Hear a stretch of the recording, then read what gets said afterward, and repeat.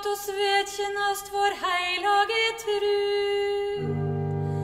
Vi trur på ein Gud, den allmektige Far, som har skapt himmel og jord, alt synleg og usynleg.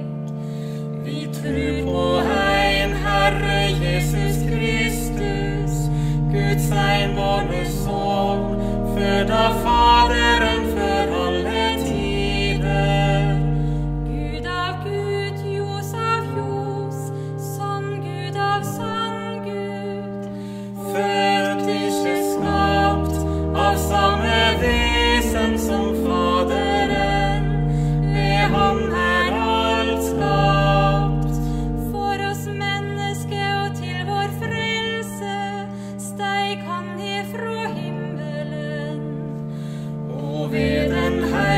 heilage og av Maria blei, vart han menneske av kjøtt og blod.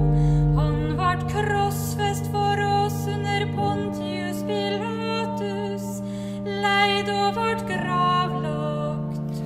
Sto opp tredje dagen etter skriftene,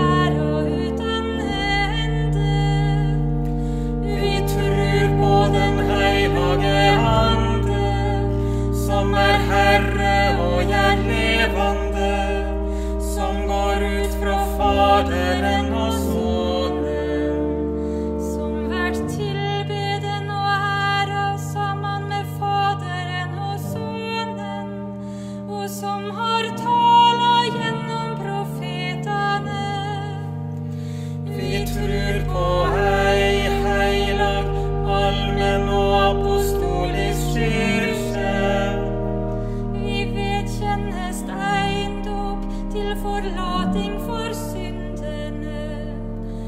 Og ser fram til